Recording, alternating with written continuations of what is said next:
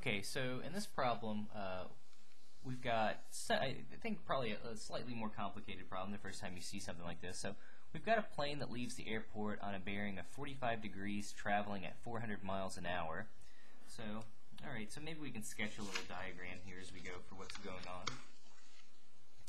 So we'll put the airport here at the origin.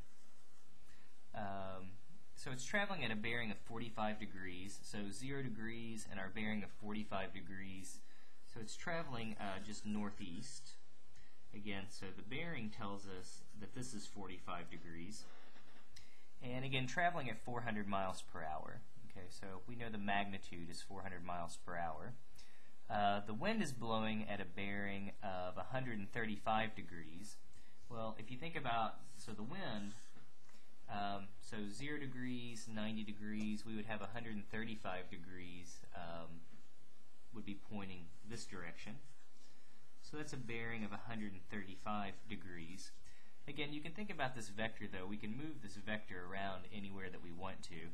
So imagine taking this vector and kind of sticking it, uh, you know, uh, it's going to be blowing on the plane. So here's our vector that's pointing against the plane. So really intuitively what's going to happen, well, uh, probably this, this uh, the plane is going to start, you know, drifting a little bit, you know, more, more uh, east than north. And we could even imagine sticking this vector here again.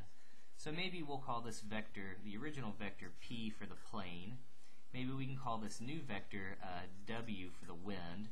So this is just the exact same vector what's going to happen is the true uh, flight path of the plane is going to be, uh, I, you know, I'm making it dotted here for no reason. It's going to be this vector um, in blue here at the bottom.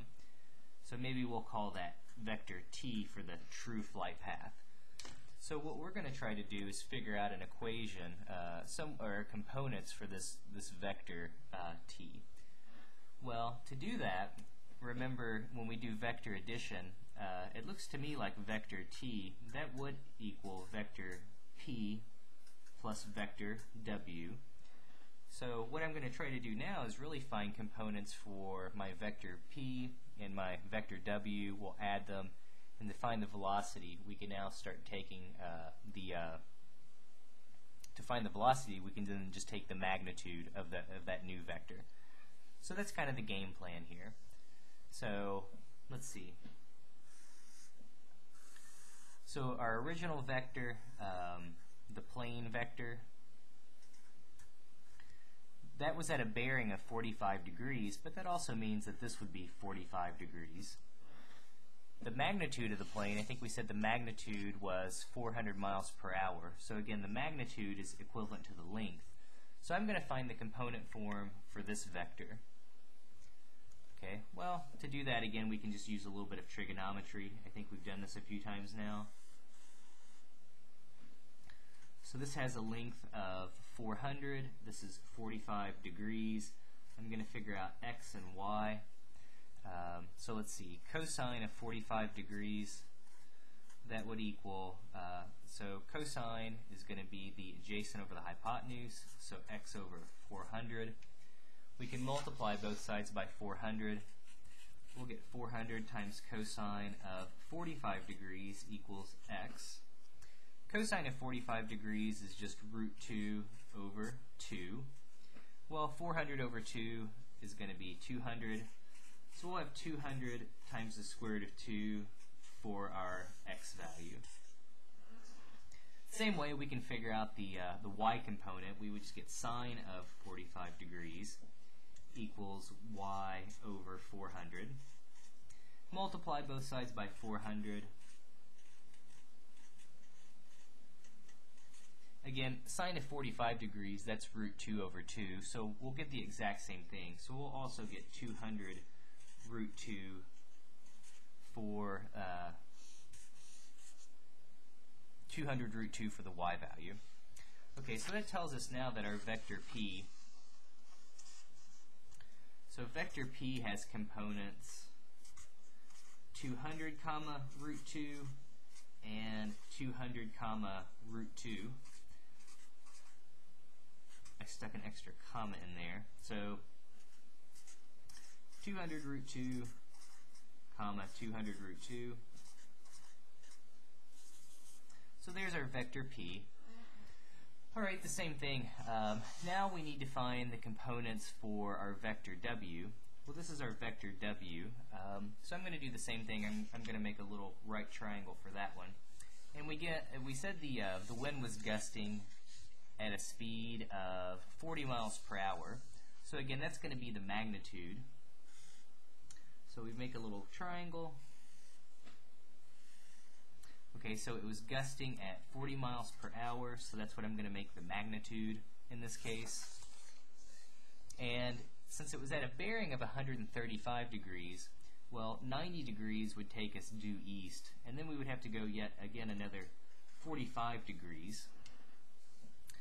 So let's see, again I can call this x and y, so we'll figure out the components for our new vector here. So just like before, uh, we'll get cosine of 45 degrees is going to equal, well, x over 40. Um, if we multiply by 40, we'll get 40 times cosine of 45 degrees, but we've seen that's root 2 over 2. 40 over 2 is going to be 20. So we get 20 root 2 equals x. Um, same thing to get the y component, we'll do sine of 45 degrees equals y over 40.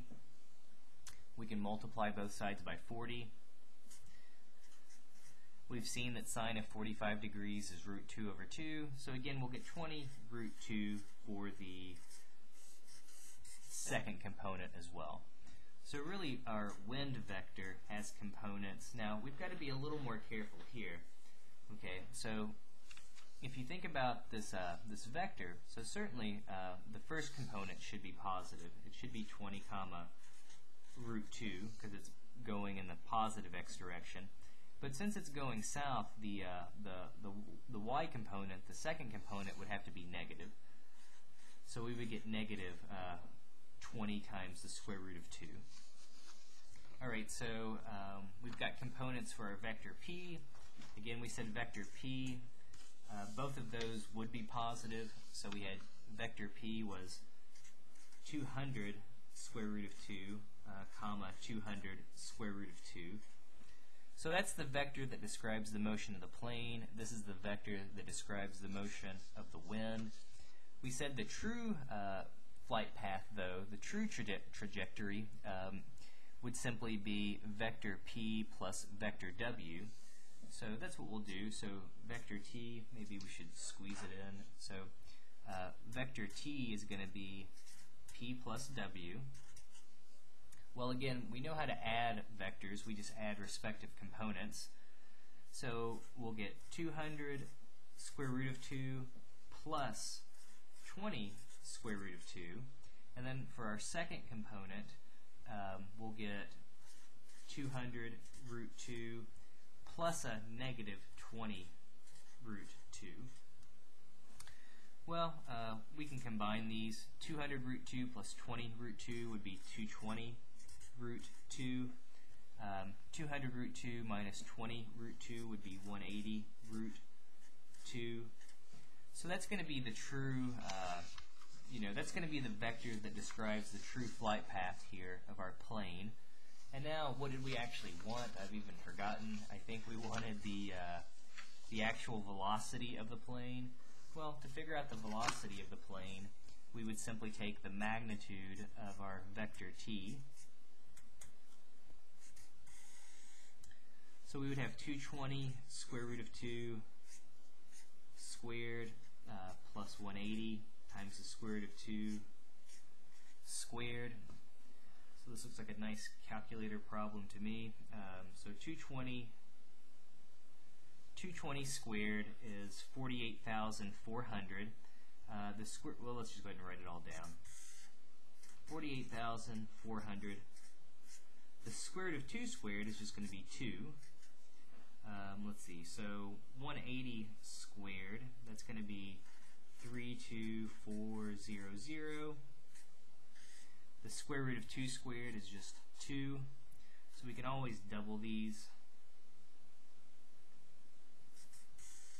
So let's see, this will be 64800, our second term. Let's see, 48400 when we double that. So just 96800, that looks right, that looks right to me. Um, now we can simply add these two numbers together and take the square root. So I'm getting 161 600 and if we take the square root of that I'm getting that to be roughly equal to 401,995 so certainly we could round this up um, to 402 miles per, per hour. So even though the plane uh, officially was only going in a sense 400 miles an hour that makes sense you know that little that the wind is kind of pushing it a little bit you know it's giving a little bit of force to where it's moving a little bit further to the right to me intuitively. Um, and you can see that even by the uh, you know the uh, the new vector t. Of course things are a little more complicated than that but intuitively to me I think uh, in this case certainly the, the, the plane should be traveling a little faster than 400 miles an hour due to this wind speed. So again, that's all we're doing, just finding, um, you know, be careful, be careful with your bearings.